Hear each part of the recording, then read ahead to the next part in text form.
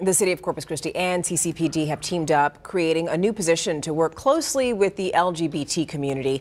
Senior officer uh, with the police department, Denise Pace, has been named the official LGBT police liaison. Now, the goal of that position is to build relationships between the police department and LGBT community, offering an open line of communication to ask about things like safety or crime rates bridging the gap between our community and the police department and making sure that everybody in our community is comfortable with their police department, and our police officers, and know that, that we're accepting of, of everyone in our community.